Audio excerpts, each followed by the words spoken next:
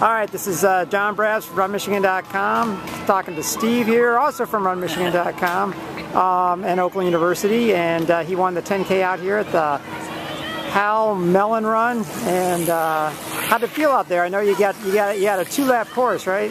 Yeah, two laps, same course, so if uh, you know exactly what you're doing uh, the second time around. And it's actually a great course. Um, I like it a lot. There's a couple hills to challenge you, but rolling and, and I think relatively fast. Um, uh, excellent atmosphere. Um, people are always out there cheering you on. And there's seems like there's at least one person at every stage of the race, which is always nice. And uh, I know you look like you were running by yourself, though, right? Yeah. So how was that when you had to run by yourself? Uh, not bad. I, I had the, the bikers in front of me. One of them was chatting away, and so it helped kind of pass the time. But it was uh, it was nice kind of having them there to, to catch. Um, so yeah, it was a good race. And you don't live too far from here, right? No, uh, just a couple streets away. So I actually just walked on up here and did my warm up. so you're real familiar, I assume, with this course, probably, right? Yeah. So I graduated from Howell in 08, and this was always our uh, end of cross country camp sort of uh, time trial.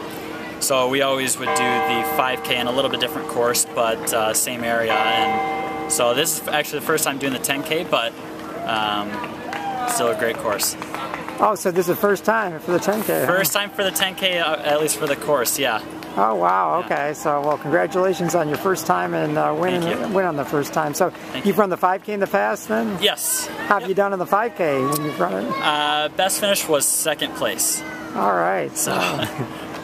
so you, so you came out to run the 10K, so make sure you won it, right? Right. right.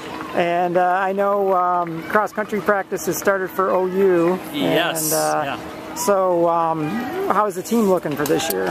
Very young, but looking pretty fast. Uh, we've got of the 13 or 14 that are on the varsity squad, we've got about uh, nine or so that are freshmen, uh, freshmen or sophomores rather.